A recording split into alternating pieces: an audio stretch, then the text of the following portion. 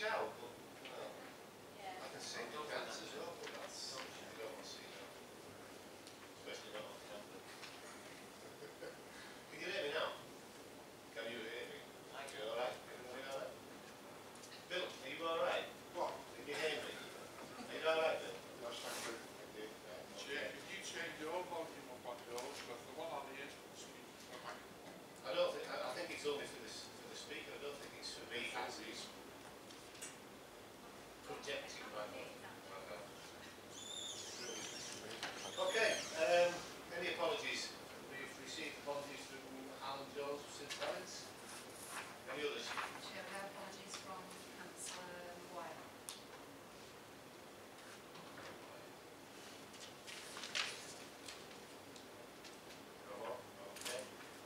declaration of interest. Um, there are forms up here for anybody who, who wishes to declare a declaration of interest. Can you please also um, do that verbally? Um, is the last meeting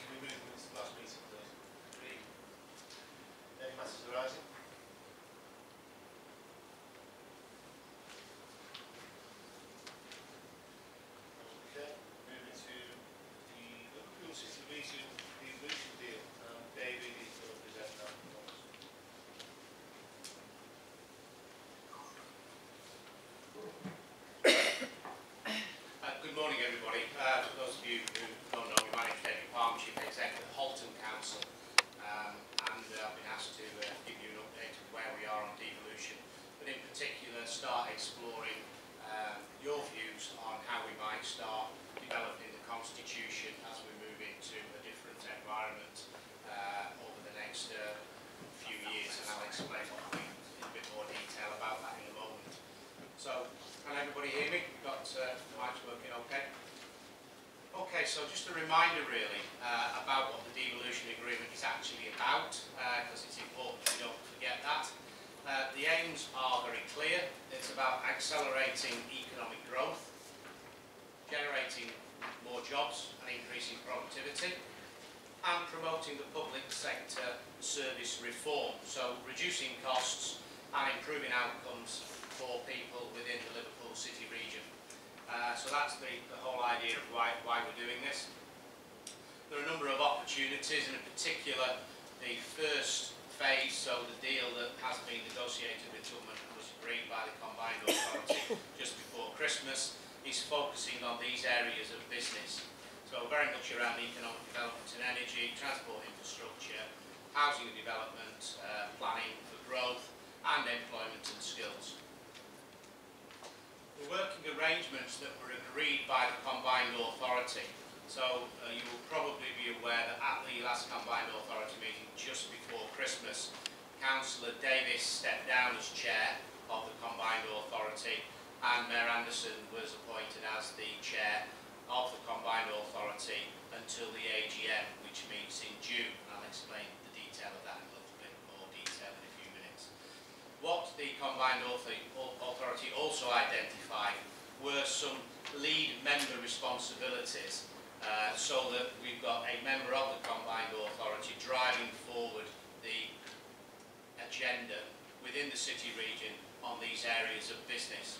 And you'll see there that each leader and mayor has a responsibility to start working on how we might do things differently going forward to make sure that we can get the best value out of the devolution deal that, that has been negotiated. Um, the, the, there are four, five of those that are in the devolution deal that was agreed. The one that's the uh, one, two, three, four, fifth bullet, health and well-being, is work that is ongoing in terms of developing a phase two devolution ask, and Councillor Moorhead from, from Knowsley is, is leading on that. And again, I can pick up any, any questions you might have on how this will. We also need working arrangements from an officer perspective. So Ged Fitzgerald will act as the interim head of paid service, that's what OPS means, and he will do that in conjunction with his role as chief executive at Liverpool City Council. Um, you'll also know that uh, David Brown uh, left Merseytravel and is now chief executive of Transport for the North. Uh, and we have an interim arrangement for Merseytravel where Frank Rogers, who many of you will know, will be leading on, on the Merseytravel work uh, over the next few months. I've broken the next uh, bullets down into really phases. So phase one is really implementing the devolution agreement that's already been agreed with government. So developing the detail away from the strategic framework that we've got in the devolution agreement, which I think you've had a copy of and you will have had an opportunity to study and, and read at your leisure. Phase two is negotiating any more devolution asks that we might want from government, and that's where the, the arrangements around health and social care come in. So that's a particular area that the Combined Authority would like to explore further with partners in the city region and also with government uh, to see we, whether we can get uh, more uh, finances and more powers uh, into the city region in respect of improving health and well-being and, and our social care. Um, we also need to do work on the appropriate management capacity, not just for the immediate term, but moving forward into, into the future. And we will also be doing work on budgeting and funding. So we're at a very early stage in some of this development and this work, which is why it's opportune to come to you as scrutiny, to ask you for your views, and then we can feed that information back into the, into the combined authority and the work that's going to make sure that we've got um, everybody uh, feeding into getting the best uh, deal that we can get going forward. The timelines are quite important. So between January and June, so June's the AGM of the Combined Authority, um, the constitution has been written. Uh, it's uh, available on the, the website of the Combined Authority and that sets out how we do business. So that will continue to operate on that basis between January and June.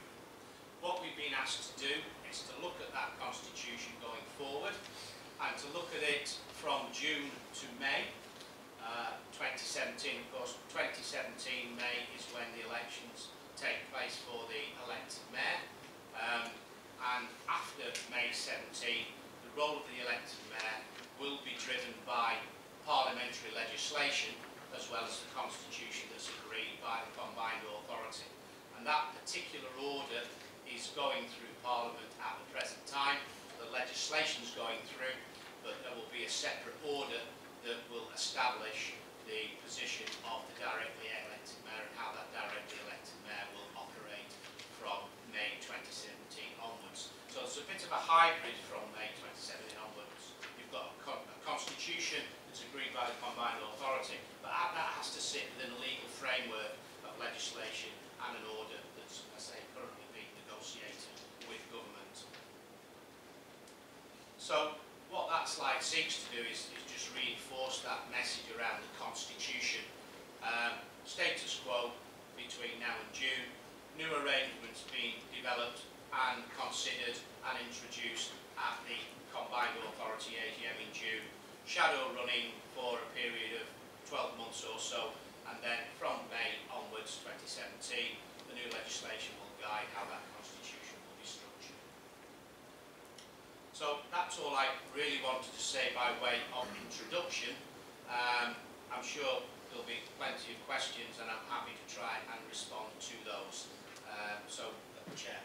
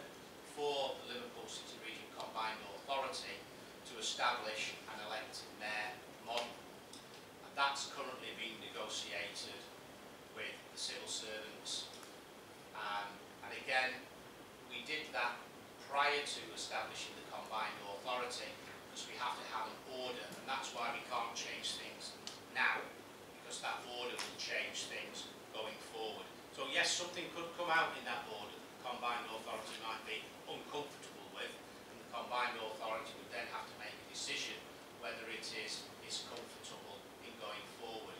Now there is a provision within the devolution agreement that allows individual authorities to withdraw if they're uncomfortable or unhappy with anything that's imposed on them by government in legislation going forward.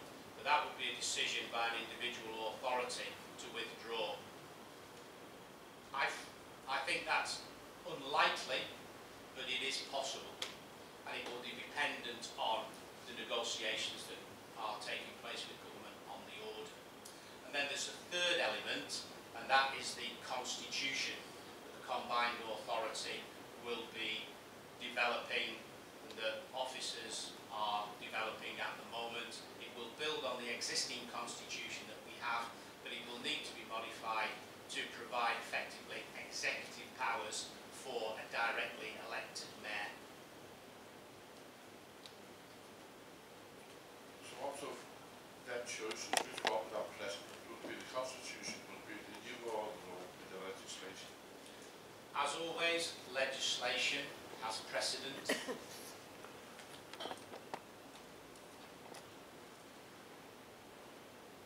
Kelly? I just wanted to ask a few questions about governance arrangements. So we'll have the directly elected mayor and the six leaders of the member councils. Um, could- and as I understand it, the directly, directly, directly elected mayor cannot be one of those six leaders of the council, is that correct? That's correct. Okay. Um, and I just wanted to ask a question about, um, I'm just finding it so that we can refer to it. Um,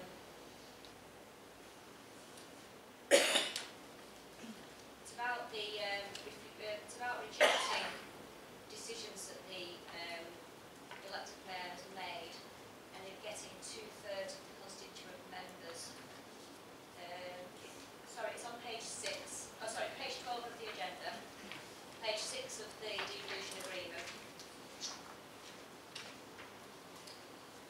The LCR mayor will also be required to consult with combined authority members on his or her strategies, which if they reject, which it may reject if two-thirds of the constituent council members agree to do so. So I just wanted a bit of clarity really, because what, what I understand that to mean is if the directly elected mayor makes a decision, he doesn't need to get the agreement of two-thirds. But if two-thirds don't agree, then they could object to that strategy, as opposed to the other way around, whereby he needs to get two-thirds constituent members to agree to his strategy, you see what I mean, or her strategies. Uh, I understand the point, and this is very complex. It's a, it's a, it's a, it's a good question to ask because it, it needs to be unpicked. So there will be certain things in the constitution that the mayor can take a decision on um, without seeking the approval of the wider combined authority. Okay, they will be identified in the constitution as we develop it and we will bring that to the combined authority to consider, we'll bring that back to you as a scrutiny panel to offer views on. Okay? There will be other things, and where the mayor makes those decisions, then the combined authority can scrutinise that decision, but can't overturn it. In the same way that you will be able to scrutinise that decision as well, but can't overturn it. There will be other things in the constitution where the mayor needs to seek the approval of the combined authority and uh, would need to acquire a two-thirds majority to be able to deliver that outcome. And there will be other things that the combined authority can stop happening if two-thirds don't support it. Okay? So, I'm sorry, this is, it sounds really complicated, and it is, I'm afraid. And it's even more complicated when we haven't got a document that we're working through that we can reference back to. So, we're talking here about principles. What we will be doing over the next six, 12 months is developing that constitutional document based on the legislation that will be the framework. And then we'll bring that back here so you've got a document to scrutinise rather than some um, what feels a little bit uncertain how it might look. Because I can't at this moment in time tell you this will be in the two-thirds, this won't be in the two-thirds. We need to define that before we give you the opportunity to apply your scrutiny to it. But certainly there are a number of different ways in which decisions will be made. Some with total autonomy, some with a requirement to seek two-thirds, and some where they can be overruled if two-thirds isn't acquired. Yeah, that's, yeah, that's what Lieutenant Council about. Just a quick one about scrutiny. We've got one scrutiny um, committee, will that expand probably more in terms of looking at different aspects of the powers? I think that will be ultimately a decision for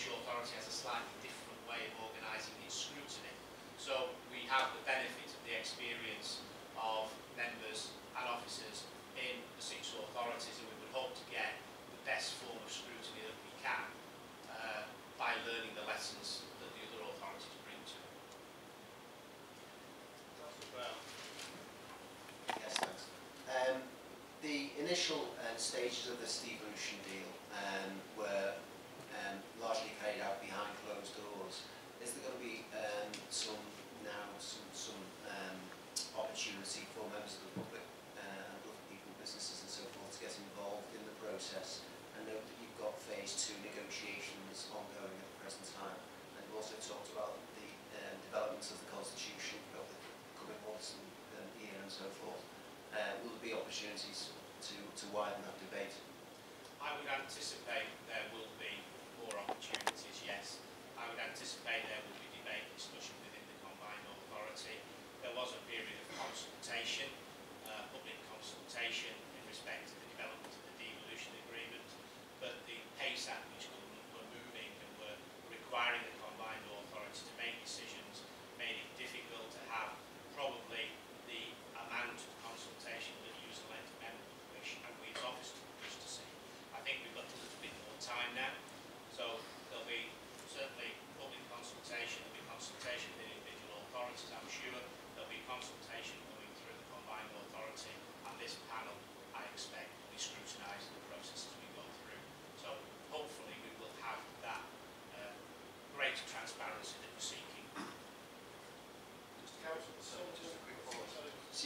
just a quick follow-up, um, in particular on the health and social care aspect, which is obviously only mentioned very briefly in the current document.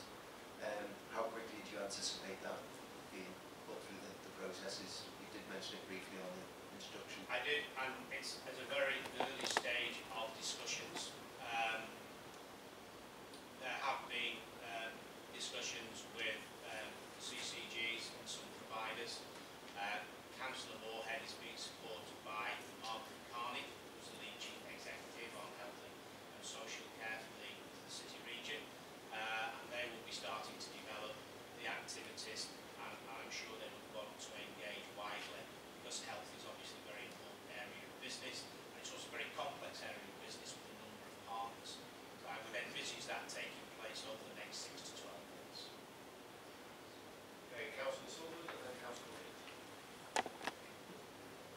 Thanks, Jeff, and thanks for your input today, David. Can I just make one observation where you, you outlined about the role of the metro mayor and the checks and balances, and you did say that there were, there were things the metro mayor could do unilaterally. That's a bit of a concern because I, I don't think any of the authorities, what we really don't want to see is an all-powerful metro mayor so the more checks and balances that are put in,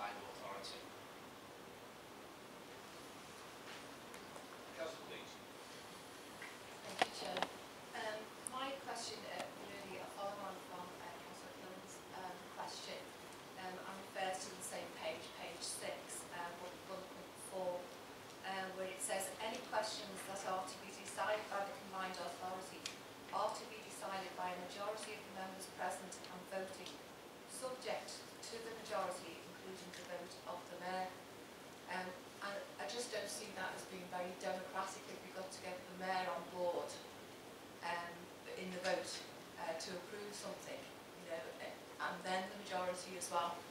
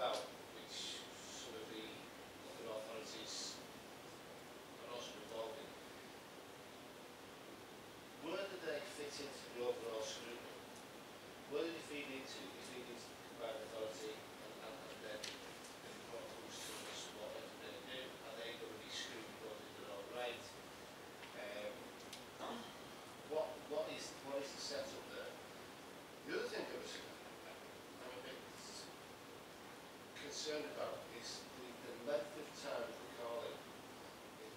I, have got the Constitution in front of me, It's the life of me, I can't find it in here. But it, I know it's, it is. It's in section 5, paragraph 5, 9, I think. Have you got a photographic memory? no, I read it before I came in because I thought I'd get a question. Oh, did I'd like to say yes to that, but I'm just read it before I came. So, so, uh, that sets the process down for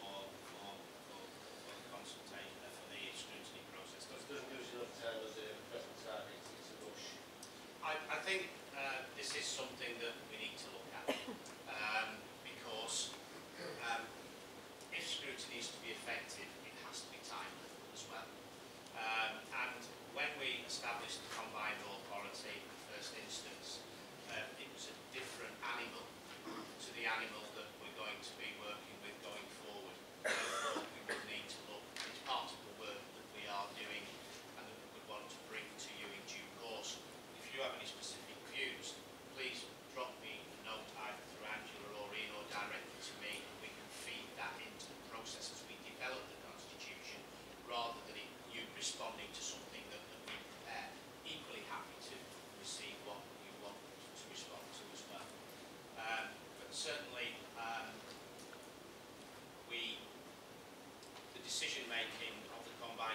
writing will be probably more uh, extensive and therefore will require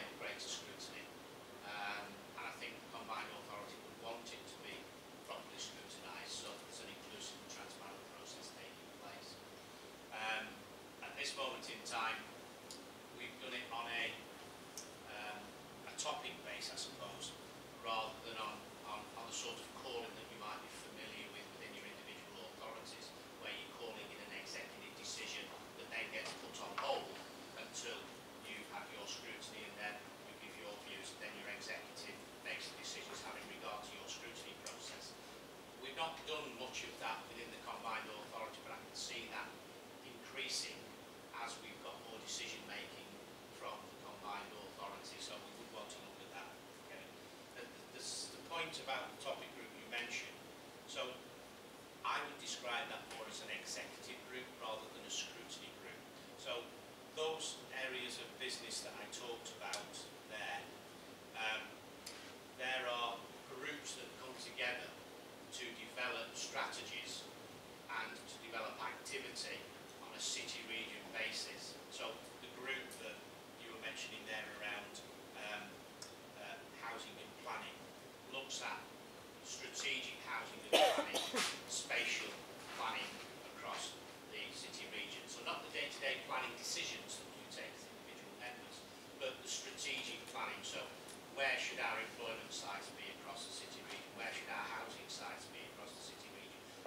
similar to the work that was done across the city region to identify where the waste site should be a few years ago. We have a joint waste strategy that some of you may be familiar with.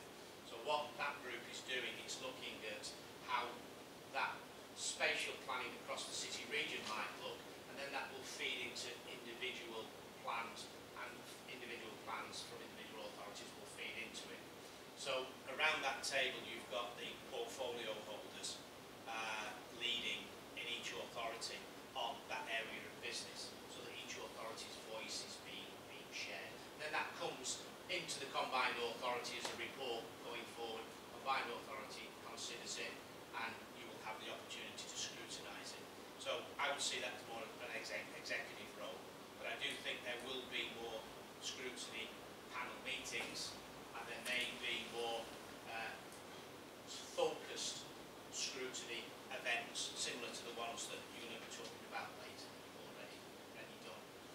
see that.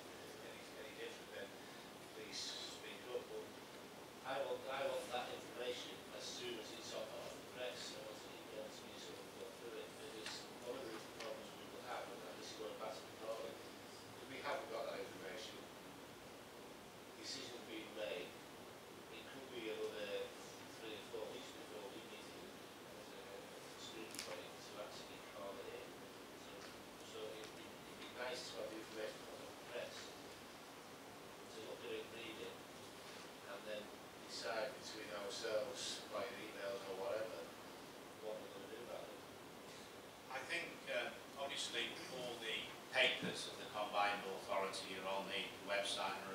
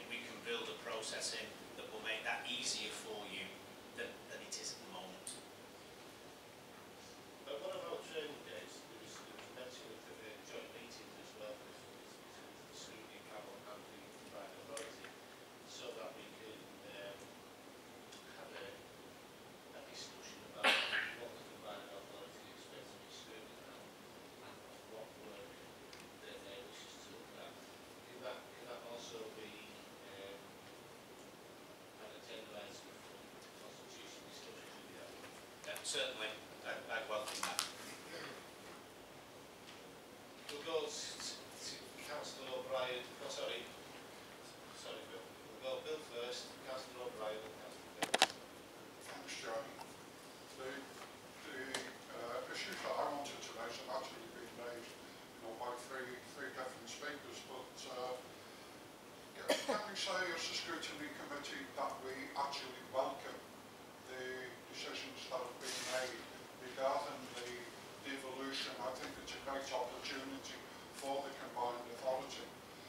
the sticking point was in fact the, the governance. I'm not saying it's over, but we are definitely heading in the right direction where I think we can actually proceed to our, full agreement on that. But the one thing that does concern me, and that is the, uh, it's been mentioned three or four speakers, and that is the, the role of the actual scrutiny committee. Now you did say, David, that, that there is work still to be done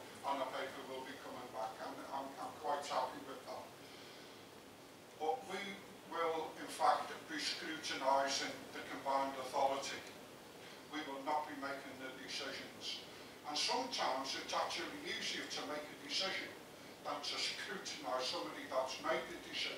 And that's where the area that I'm bothered about, and that is the, the workload that we're going to have to pick up. If there are different functions, say another diff, uh, six different functions, are we going to have somebody actually scrutinising that? Or are the combined authority going to do their own scrutiny on that? And then we uh, scrutinise the decision of the combined authority.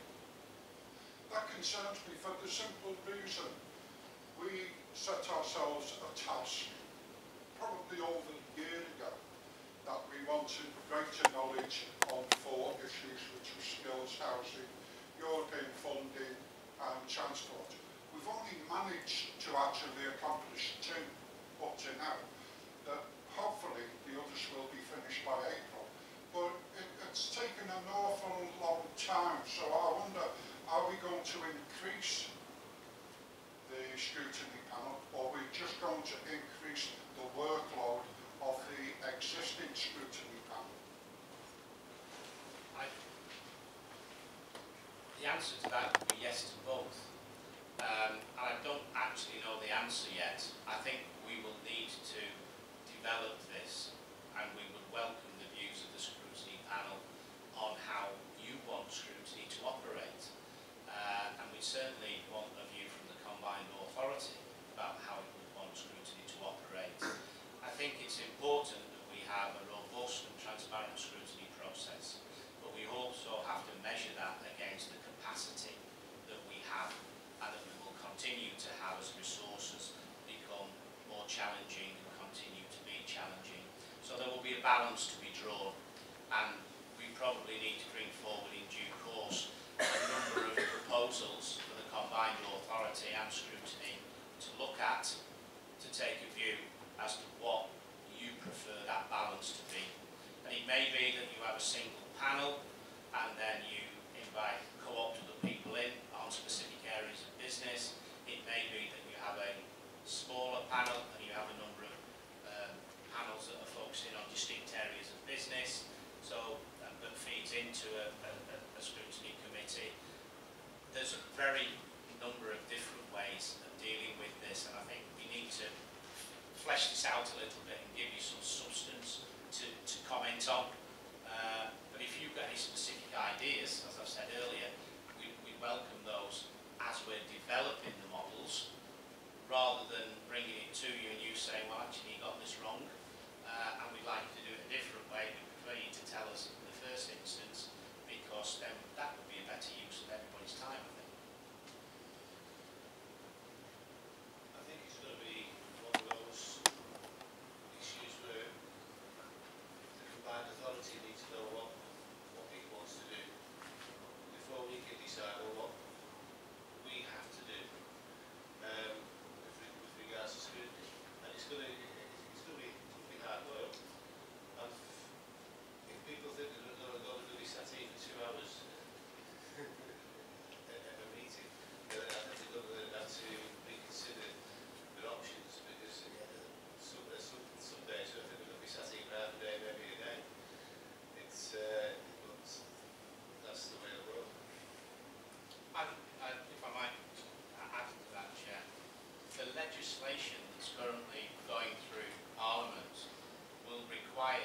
certain things off scrutiny.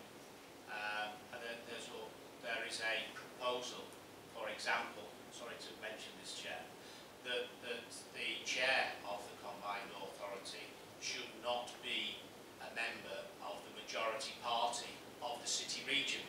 That's a proposal that's going through. So you know, in the Liverpool city region we have a majority of Labour members, so that would mean that a Labour member couldn't chair the scrutiny panel. That is legislation that's going through Parliament at the moment. That will influence what we can and can't do. So there'll be some things that, that we will be required, oh, I'm sorry Chair, and I know it's uh, not something that, that people want to hear, but I'm afraid it's the law that's going through at the moment. Um, there will be other things in the legislation that will influence how scrutiny should operate as well. So we'll have to build those into the Constitution as well as the things that you want to do that got a discretion to do that. I have to say, I don't mind listening to these two.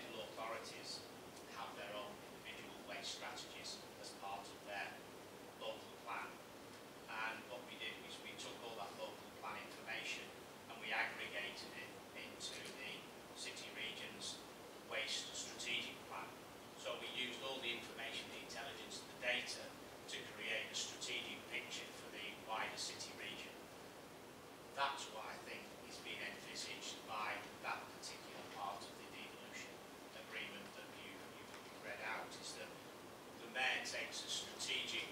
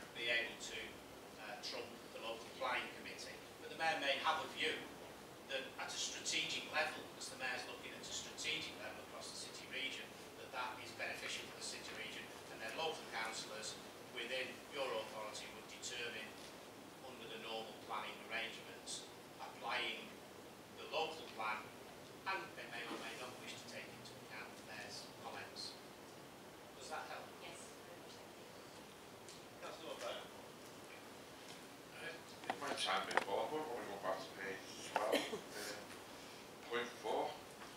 If the majority of the leaders want to do something and the elected mayor doesn't